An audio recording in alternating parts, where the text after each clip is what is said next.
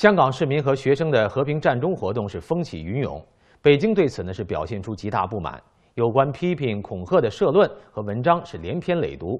与此同时，大批有组织的反战中暴民三号晚间围攻和平在马路上集会的市民，双方爆发流血冲突，警方呢却迟迟不增派人手，香港街头的情势骤然紧张。那么，香港这一次雨伞革命成功的希望有多大呢？我们一起来看看下面的报道。据香港媒体报道，十月三号，大批有组织的反战中暴民围攻和平在马路集会的香港市民。不过，警方却迟迟不增派人手对暴徒驱赶。入夜后，有千名市民自发到场反包围暴徒，希望警方正式拘捕暴民。港府说，截至晚间九点，共有一百三十一人受伤需住院。当晚，香港学联宣布搁置与政务司司长林郑月娥的对话。学联在脸书的声明指出。政府与警方今天纵容黑社会与爱字头暴力袭击和平占领者，无理打压占领运动，与民为敌，自断对话之路，后果自负。雪莲认为，政府既然表明强硬在各个地方清场，呼吁港人立刻前来保卫各个阵地，抗争到底，誓不低头。实际上，自港人九月二十八号走上街头抗议以来，大陆媒体对香港抗议活动的动态新闻基本保持不报的姿态。但是，中共主要官媒、党媒等连日来连篇累牍，发布各种社论、评论文章，狠批香港战中行动，把和平的公民抗命活动定性为非法集会。不久前，外交部发言人华春莹也曾声称抗议是非法的。北京驻港中联办则强硬表态说，中共人大的决定不容挑战。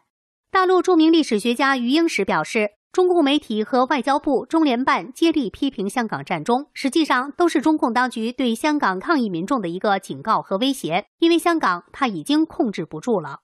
啊，他一向就意识到，他对中国所有城市、所有老百姓都是用这个统一方式嘛，并不特别嘛。不过在国内，他可以完全控制，他有军队、有武警，到处都是，你你没办法在街上游行。在香港，他还没办法做到这一点，所以他就只有用言辞来恐吓了嘛。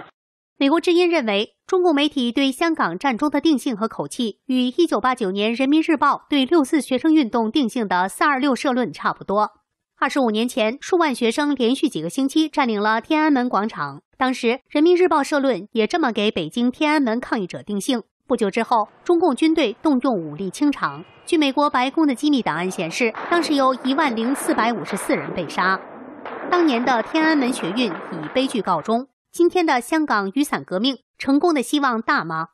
生于北京的刘怀昭曾亲身见证六次悲剧。与八九民运比较，他认为香港的这场运动除了有更成熟的公民意识做支撑，更有一个关键的也是有区别的地方。香港这场公民运动不是建立在理想主义基础上，而是有现实具体的目标，再加上它是一个制度有别的城市，成功达至诉求的希望很大。现实在香港任职自由撰稿人的他说：“香港人的目标很现实，我认为有谈判空间，就怕沟通渠道不畅，事态走向极端。”前六四学运领袖唐百桥表示，今天香港民众的抗议让他恍惚听到了八九学生的呐喊声。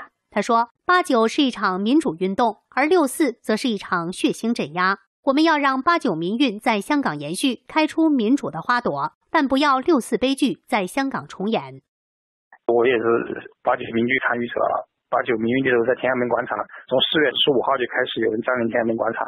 然后一直到六月四号，也差不多两个月左右，那个时候声势非常浩大。那中共六月四号开枪了，全球都谴责，所以大家不要担心这个中共会怎么样，对吧？中共如果采取暴力镇压的话，它后果会很严重。这个事件愈演愈烈啊，学生的这个民主要求呢，普选的要求呢，得不到真正的解决和回应。不光是学生在里头，还有民众呢都在里头，事情呢愈演愈烈，呃越难呢呃给他妥善的解决。所以说我们看到战中这个事情三天了。中国资深法学专家赵远明表示，目前和平战中已经演变成全民运动，全球声援。他呼吁港人要有追求民主的决心和毅力，战中运动最终必定会成功。